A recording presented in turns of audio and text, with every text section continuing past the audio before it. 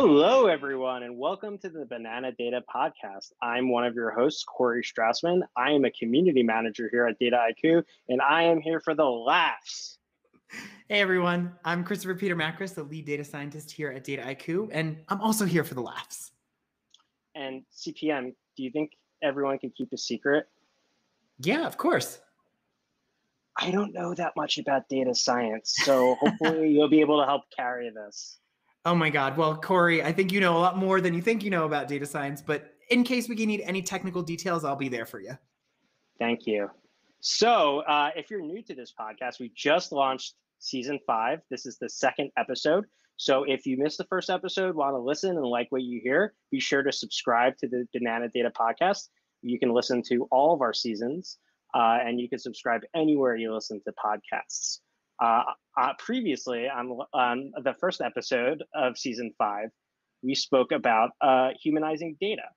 CPM, you want to speak a little bit about that? Yeah, sure. Um, so last episode, uh, we walked through some concrete examples of how data insights can be humanized in an easily digestible manner.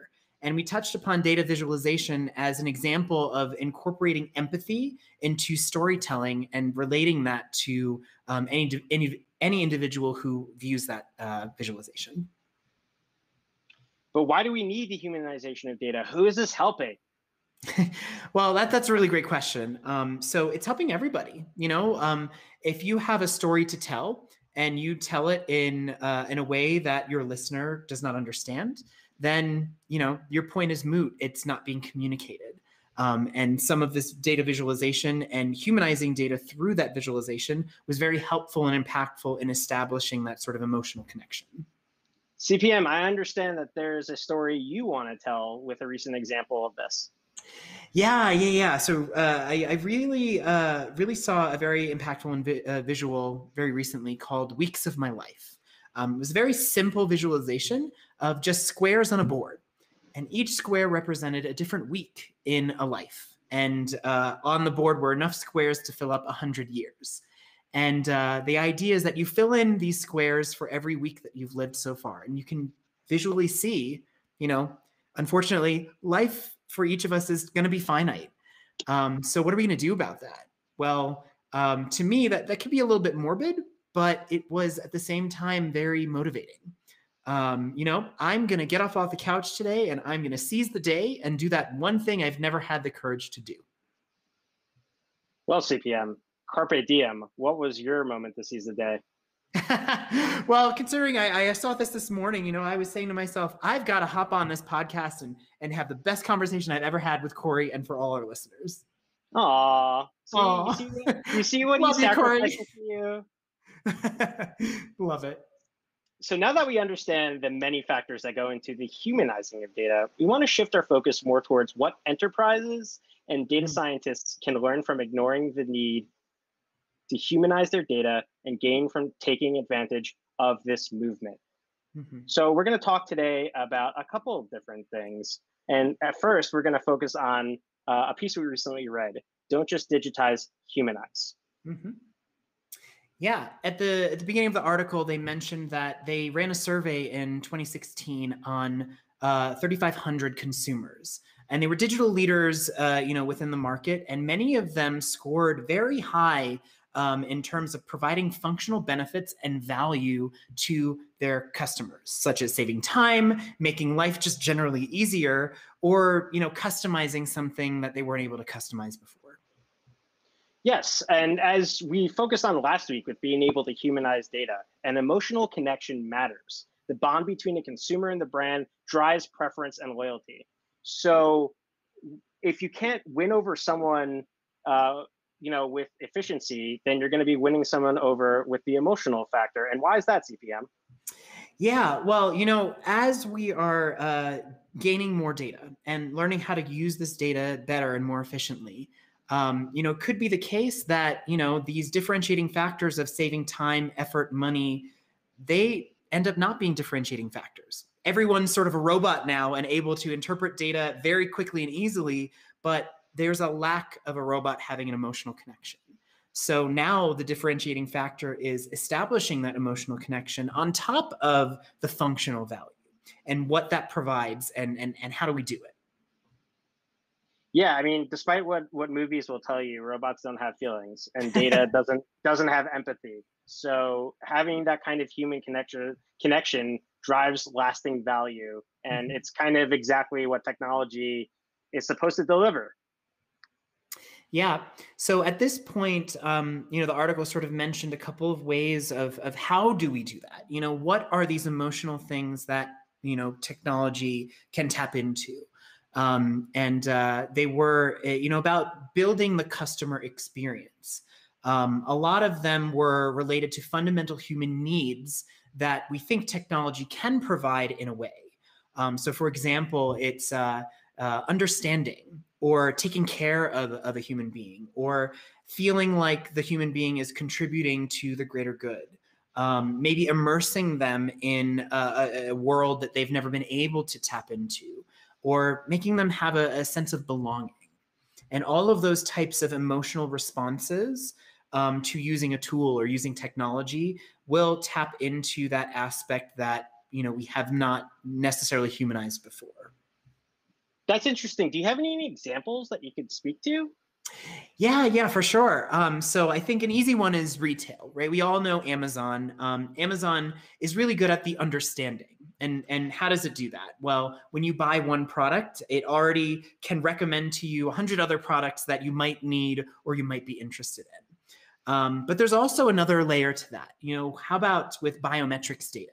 What if you uh, are wearing a uh, biometric tracker and you're really sad one day, um, but then it's connected to your speaker and your speaker, you know, plays a song that's going to cheer you up, um, and it's based upon your mood. Um, that's really tapping into the understanding how I feel um, and uh, you know taking care of of the human. Um, there's another one I really like. Uh, I use Waze, an app for uh, navigation uh, when you're driving on the road. Um, and this one helps tap into letting you contribute or feeling like you are part of the greater good um, because uh, you are crowdsourcing traffic information. And maybe if somebody else across the way is stuck in a traffic jam, um, you're going to be rerouted. Um, and uh, you know that you are contributing to giving data uh, to uh, this app uh, that's going to optimize how everybody drives. And you know there's an emotional connection there feeling like you're a, a piece of a whole. Yeah absolutely. You're not just getting directions from an ai from just like a gps uh, with a robot voice you're getting human beings that are actively reporting data to you in real time you're getting that human connection you're establishing that uh, crowdsourcing factor where people feel motivated to help other people mm-hmm. so these are all gains right? But uh, Corey, I think you you had a really good idea earlier about like what are the losses of of doing this type of uh, emotional connection building and humanizing data? Yeah, sorry to, to put a dark cloud over this, but there oh, is no. a concern. yeah, there is a concern legitimately, and that is data privacy.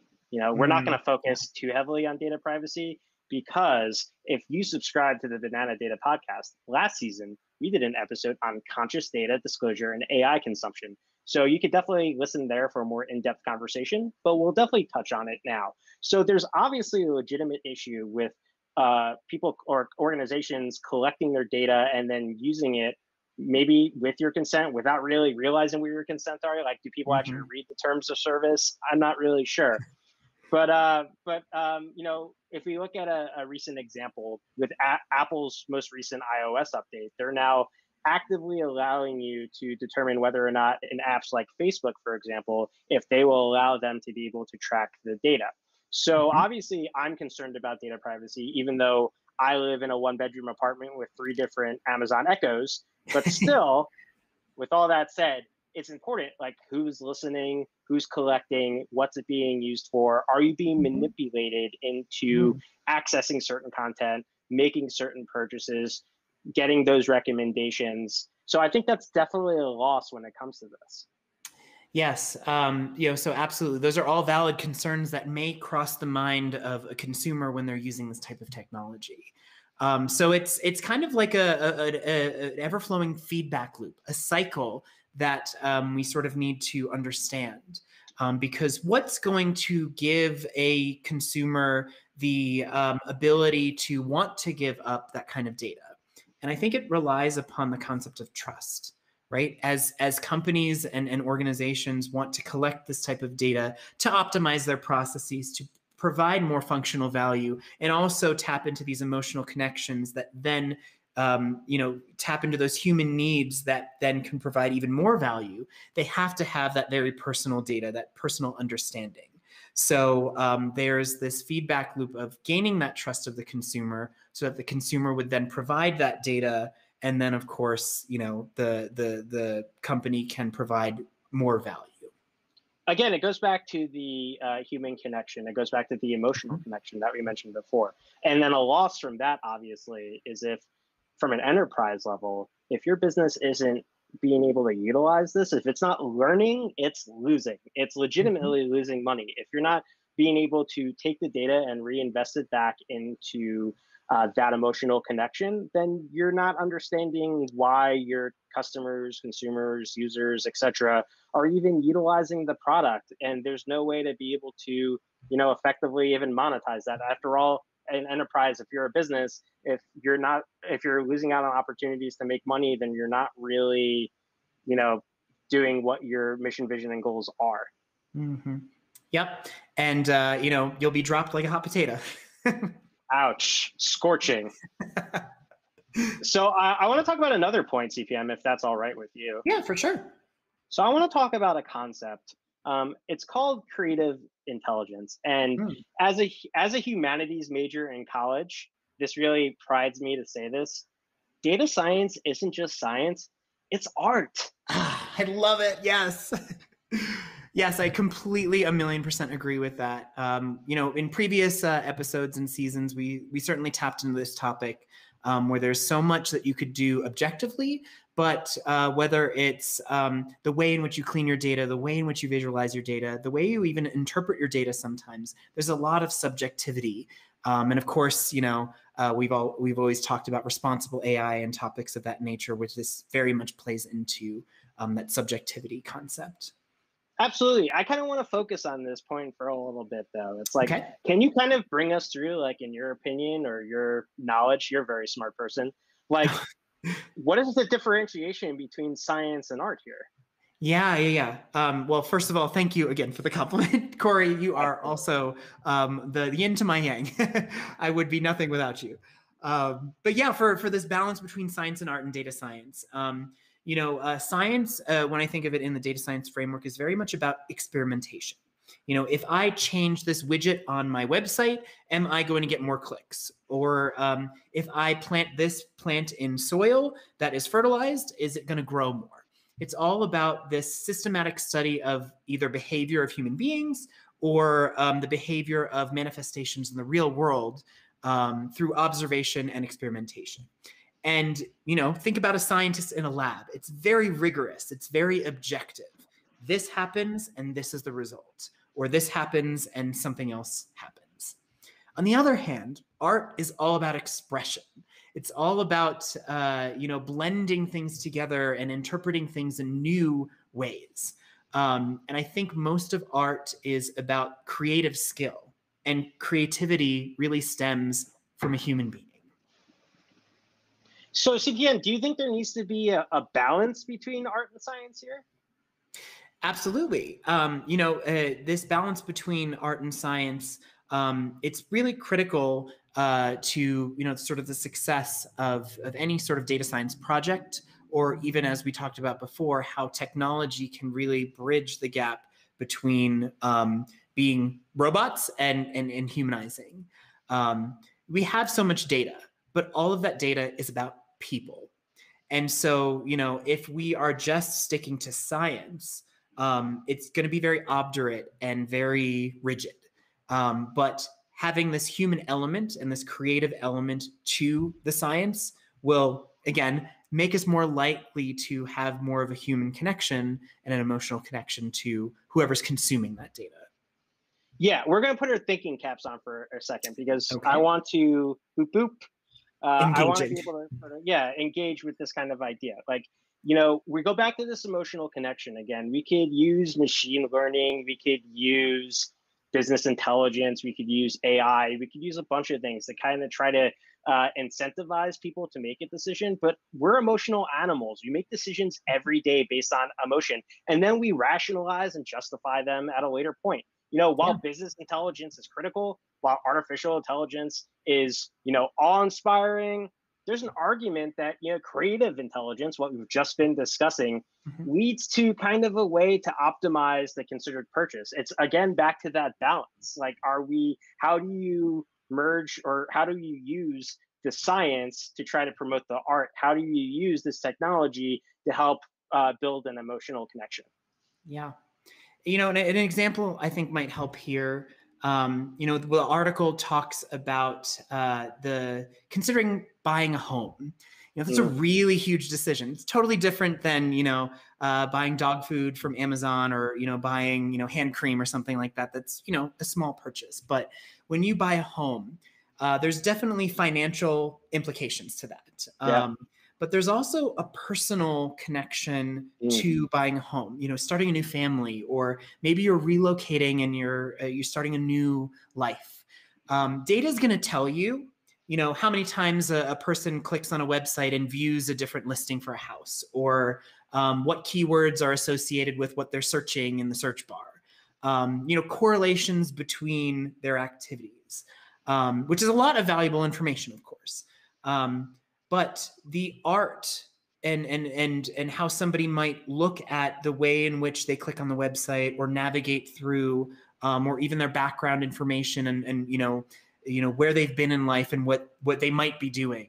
Um, that's a more human element that sometimes um, may get put by the wayside or not necessarily be focused on as much as the sort of tangible clicks and and and and links and words that they're typing into the search bar leveraging that human element, um, if you're able to sort of put yourself into the consumer's shoes and really understand their emotional connection to the decision they're about to make and um, what it's like to be a home buyer about to start a new family um, and so on and so forth those considerations are going to drive a connection between the science and the art that ultimately creates a better model a better prediction and, and a better sort of experience for the human being yeah, I mean, and you know, with your example of purchasing a home, you know, if you have to make mortgage payments and you have to pay it off within 10 to 30 years, I certainly hope there is an emotional connection because uh, you know, why would you be making that sort of investment? Yeah. And mm-hmm. and you know, I think realtors, I think home, you know,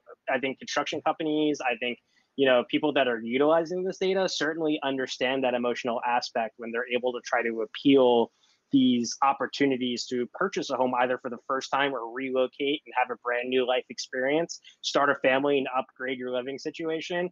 They could use the data to kind of help segment these types of audiences, but certainly mm-hmm. make that emotional appeal and connection when actually purchasing the homes. Because after all, humans are going to make emotional decisions, and that's what, mm-hmm. the, what they have to sort of touch on.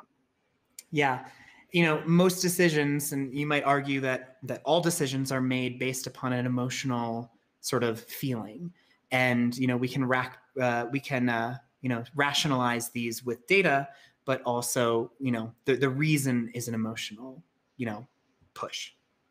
Speaking of emotions and human beings you know we at the banana data podcast we want to put our money where our mouth is. So mm. we've been talking about data humanization so we're going to practice what we preach. And next week, we're actually going to have a live human being guest that's going to oh join gosh. us. Yes. Oh, that's exciting. So CPM, do you want to tell yeah. everyone what next week's episode is about?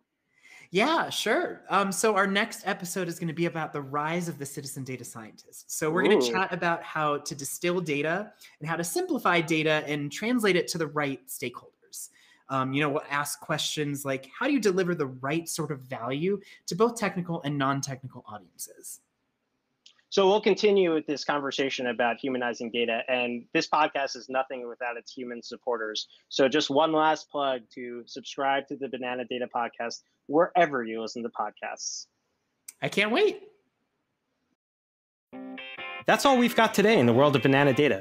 We'll be back with another podcast in two weeks. In the meantime, the Banana Data Podcast is on Apple Podcasts, Spotify, and more. Subscribe to us wherever you listen to podcasts. See you next time.